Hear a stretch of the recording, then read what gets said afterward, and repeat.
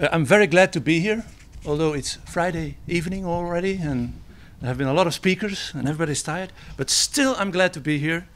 Um, like Dirk said, I'm a member of the Flemish Parliament. Um, I did put there a, a sort of um, note, a vision note on circular economy. Uh, it's going to be on the agenda soon. We're going to discuss there circular economy as well. But I'm glad we can discuss it here first. I don't know how this works. Yeah. Um, you can see circular economy, it's almost heaven. You know, there's no waste, there's no depletion of resources, there are new jobs, we can create uh, new added value. So um, it's paradise. And um, it's, it's hot also. It's, it's a buzzword, circular economy. If you come somewhere in a, in, in, a, in a European context, everybody's talking about circular economy. Nobody is against this. So that's a very good thing. Uh, but there's a little danger in it that the, the definition of circular economy, what are we talking about, it's going to be very broad. So it's a good thing that everybody is enthusiastic about this, but we have to make sure that everybody is talking about the same thing. And there are two uh, important things for me. And the first insight I have, you can see it here, that um, the, uh, the circular economy, um, you can, I, I, the circular economy is not the same uh, as recycling. And you can see in this scheme uh, where this um, where this mess up came from, because uh, you, could say, yeah, the, when you have circular economy, on the other side there's a linear economy. Uh, you have resources coming in, you have waste coming out. And from the moment that we have a, a recycling circle, we have a circular economy. But it's important that we keep, uh, that our aim will, will stay the circular economy with a closed circle. Because this is, this is the stage we are in now. Uh, it's a sort of uh, chain economy uh, with, with, with, with recycling in it, but there's still uh, coming resources in, there's coming, uh, the, the, the, there is waste coming out. So we have to keep, we have to keep the standard high. And the other important thing about circular economy is that for me it has to be a sustainable circular economy. And that is um, not the same. Huh? It's not because economy is circular that's also sustainable. When there is a, um, a computer assembled in China, it's uh, shipped to Europe, and it, uh, it, it, gets broke here, and then it goes to, to Africa or to India, and then you have children there who disassemble it back to usable resources, but in bad social condition, in bad health condition. It might be circular in a way, but it's not sustainable. So we have to we have to uh, make sure that the circular economy is also sustainable. And how can we do that? To focus on the fact that cycles are as short as possible and the cycles are or move as slow as possible. I'm going to explain that. Uh, about the, the, the, the, the short cycles. Um, when, when, it comes to uh, environmental impact, you cannot just look at the resources angle uh, you also have to look at the energy you use. Uh, and, and the standard there is that we are trying to have um, 100% of re re renewable energy. And we all know that this will only be possible if we go easy on the use of energy, if we reduce the use of energy. And transportation, if you have long circles, cycles that go around the whole world, it needs a lot of energy and that produces a lot of greenhouse gas emission as long as we don't have this 100% uh, um, renewable energy. Uh, and there is also an, another advantage, you create more local job because uh, repair cafe, for instance, you cannot outsource it to Taiwan.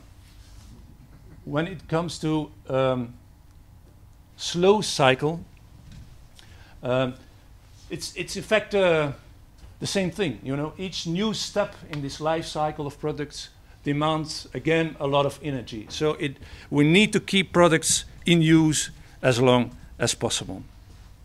But when we combine circular economy with sustainable uh, economy, then this uh, circular economy is absolute uh, the way to go.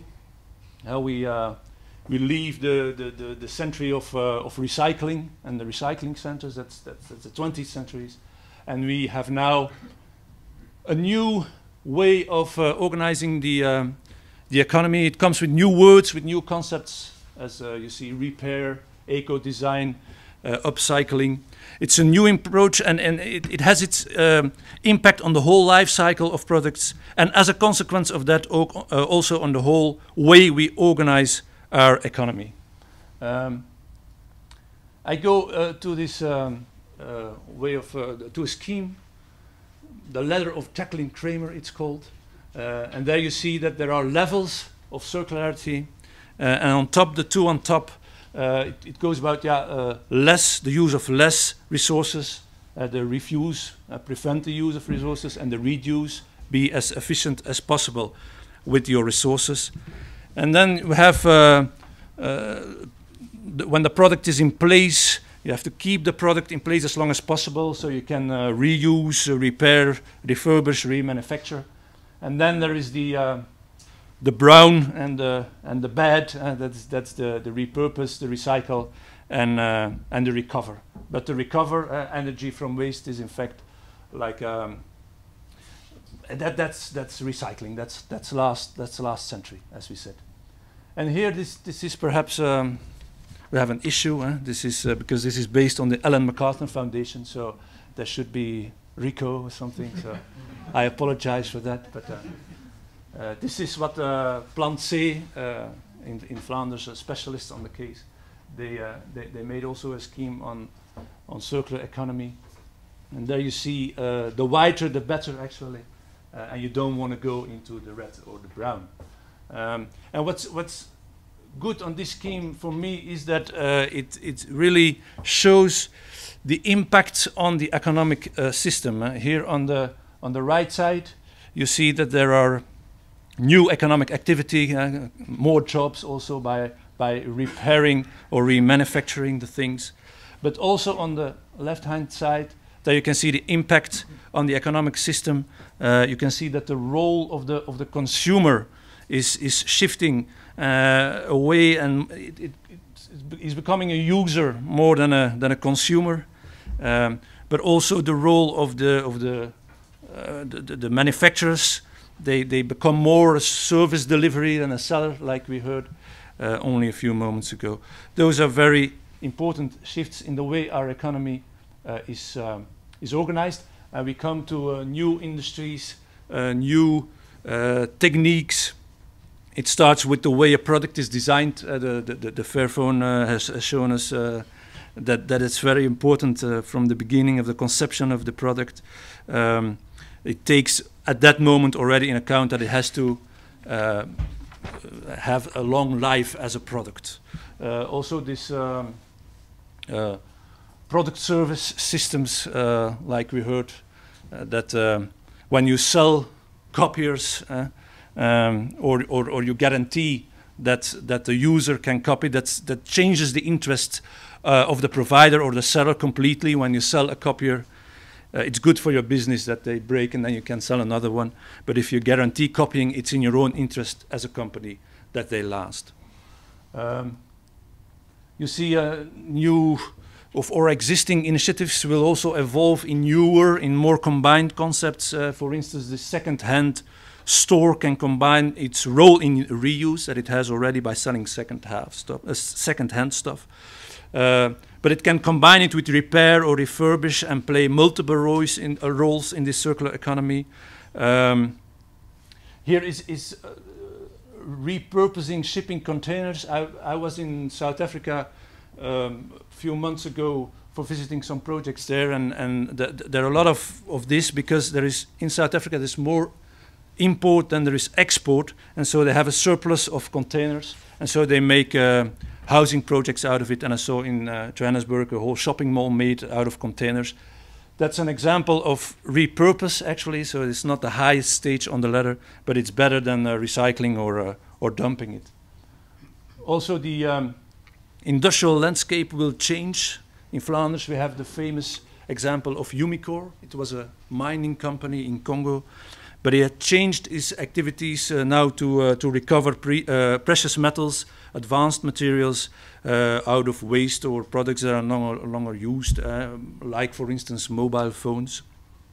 And it's one of the key concepts, I think, of circular economy, this urban mining. Uh, the city is the modern mine. There are a lot of metals that we don't want to throw away that are in drawers, we heard, with mobile phones, for instance. So we have to recover them. Um, here we have also an, uh, an example of a multifunctional complex which would turn your trip to what to today is called a, a recycling uh, a, a, recycle center into a real joy. That's that's the ambition. Today you go there with things you want to get rid of, and you must in the most of the place you must pay to get rid of those things. But when it's no longer waste, uh, but if it's a reusable product or, or is it a product to be manufactured or, or, or considered as resources, you would get paid for it. And then, uh, or you could swap what you bring into other reusable products from other people. And if you make sure that there is all, all, also something you can eat and drink there, I think IKEA has finished as a Saturday afternoon destination, and we will all go to these recycle centers. There's a lot of things to do. Now, the situation uh, in Flanders is that we are a world champion in recycling. And so um, now we have to take the step uh, to, the, to the circular economy. Uh, and because we are very proud of what we have achieved in this recycling uh, business, um, uh, actually it, it, it's perhaps even more difficult than if we would have done nothing in the past. Um, so we, we, have a lot of, of, expertise on recycling, but an economic systemic change uh, towards uh, an, an um, this, this circular economy, it has not taken place yet. Although the challenge for Flanders is clear, here you have the advantages again. Important arguments. So, um, being a politician, as I am, and being proud of a politician, uh, it's an important question uh, what the role of the state or the government is. And uh, I'm aware that the question that is raised here, companies or government, is a bit uh, too narrow uh, because there are a lot of other actors as well, uh, like uh, citizens and consumers and, and, employees. But in the political debate in our parliament uh, today, this is a debate that comes up regularly between the government and, and, and, and me, in fact. and the government says, let the companies do the job, let the market shape the future. Um, the, they, they look at waste as uh, some sort of environmental problem. Uh, if you have uh, questions about that, you should go to the Minister of uh, Environment. And the Minister of Economics say, uh, look, I support companies uh, in what they do, and that's it, they are competent enough. And so they think in a circular economy that Fairphone will win against iPhone and, and that the EcoPower will win against Electrabel, I, I don't know, but they say it's, it's, not, it's not our job as a government of our state to do something about that. Well, I don't agree with that point of view. I think the government should be active on the front of economic change. Um, I think all governments should do that. When the, I use here plural because uh, in Belgium we have a lot of governments. Uh, we are uh, active multi-levelers, I should say. Um, I'm not going to explain how uh, Belgium works exactly because uh, there's this, this, joke that if you explain to uh, a non-Belgian or a foreigner the structure of our state and he understood, uh, then you explained it wrong. So, um, but but it's clear that uh, that all the levers, uh, all the levels, Flanders, Belgium, Europe, have to take their uh, own responsibility and have to work together also to put the circular economy uh, in its face. And when it it comes to Flanders, you have. Um, uh, you have an, uh, on the environmental, when it comes to, to politics of uh, environment, uh, you have to set targets. Uh, you have to um, deliver information, for instance, determine these uh, ecological footprints. Uh, and you also have to give financial support to companies, organizations, local authorities uh, who are doing an effort. Uh, you can also have taxation on, on, on waste and pollution. I think it's one way amongst others. I come to others. It's one way to um, to, to, to, to make sure that companies who do their job and do their effort are rewarded for that.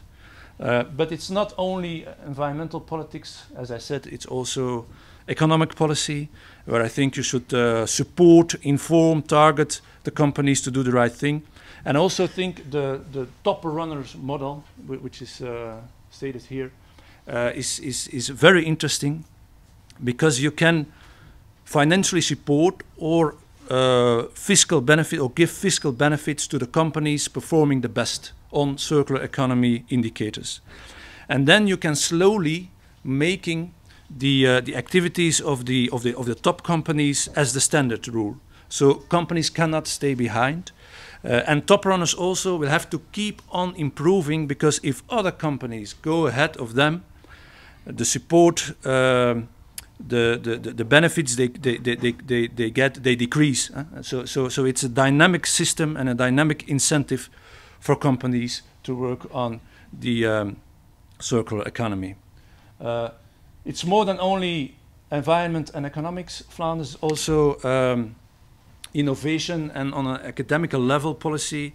Um, I think Flanders should, uh, should promote and support new research and technology, but also making sure that uh, in all education and training in university and even secondary schools, the concepts uh, and the practicalities of circular economy are introduced.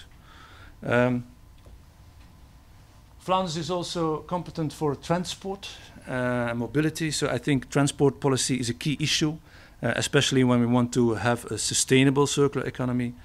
Uh, Flanders now has the ambition to be a, a, transportation hub of Europe, some sort of super traffic interchange. It's completely outdated. This, I, I, think we need a new concept there and to take the lead in, in the small loop transport and, and repair logistics. And it's some sort of same story when it comes to agriculture. Uh, Flanders is now um, actually um, promoting uh, production for export I think we should divert that to a promotion of production for local use.